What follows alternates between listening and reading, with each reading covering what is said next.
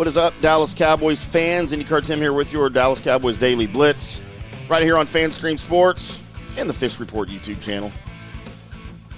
It is the Eagles post game. How you feeling?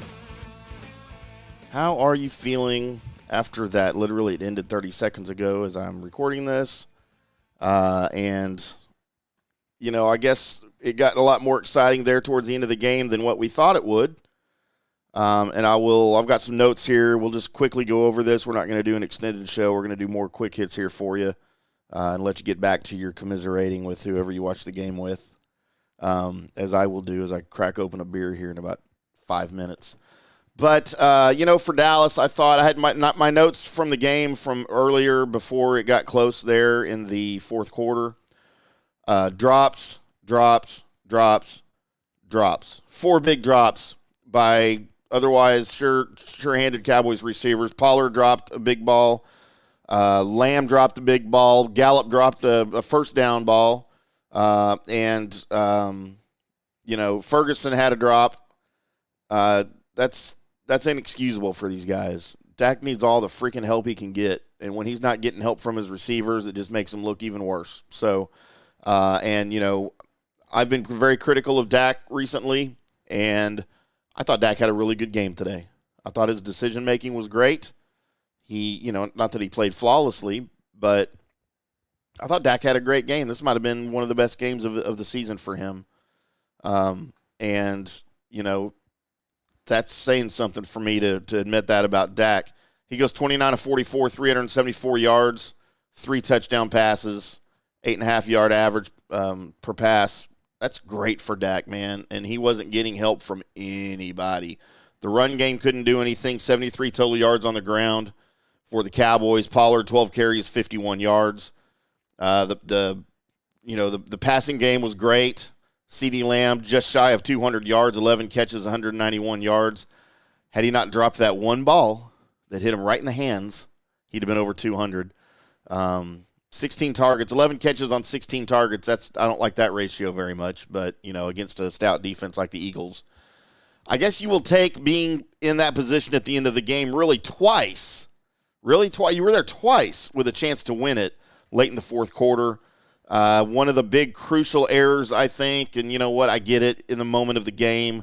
Dak stepping out of bounds just short of the goal line on that two point conversion. That would have changed the entire complexity of the final part of the game being down just three rather than five and needing a touchdown. But I mean, I'm not going to blame that on Dak. He's trying to make a play. Uh, you know, maybe a slight mental error. You, would expect him to know where he was on the field, but you know what? He's trying to make a play. I'm not putting that on him. It's it's just a football play. The defense was breaking down on him, and you know what? He he stepped out. So what? Um, I thought the play, the uh, fourth and one where Schoonmaker was about a foot short of getting in the end zone. I put that on Schoonmaker. Uh, when you're running that route, you got to make sure you're across the goal line. And he ran a really flat route that gave the gave the defender. I think they talked about it on TV. That gave the defender an opportunity to break on him sooner than he should have. That's a big rookie mistake by Luke Schoonmaker. Uh, so you know, um, hopefully he'll improve on that. He's supposed to be a big part of the offense here moving forward. I haven't seen it yet, but I guess we'll see. Maybe I'm just not a Michigan guy. I don't know. Um, but uh, so yeah, I thought some crucial errors towards the end of the game and clock management.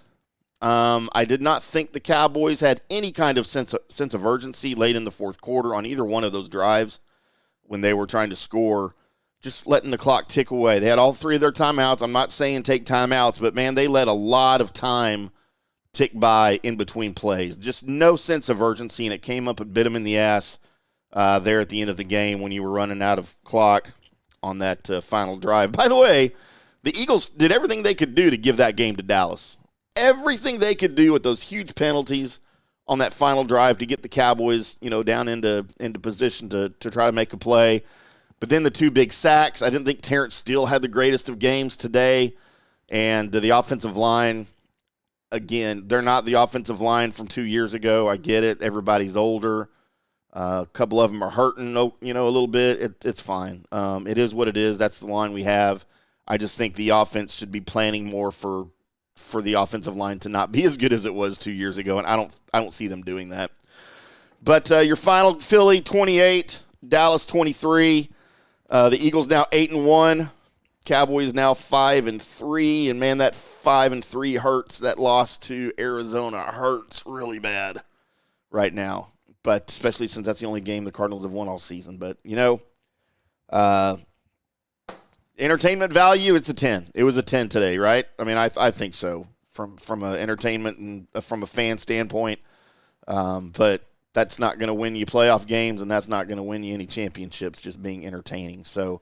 Uh, kudos to the Eagles. Never thought I'd hear myself say that. Jalen Hurts, I thought they pretty much kept him in check today 17 to 23, 207 yards, two touchdowns. Yes, he's supposedly been a little bit hobbled with that knee. Kind of tweaked it again today, right before the first half, or right before half was over.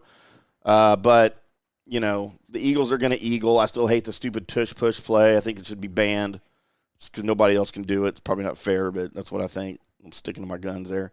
Uh, appreciate you guys tuning in today. Go commiserate with your buddies.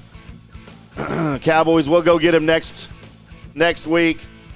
Uh, who do we have next week? As you have the Giants, if I can read in the dark on my calendar, um, next week. So we'll prep for that. We'll do some shows here early in the week. Maybe do a little deep dive on this one before we get there. Um, but yep, let's prep for Giants.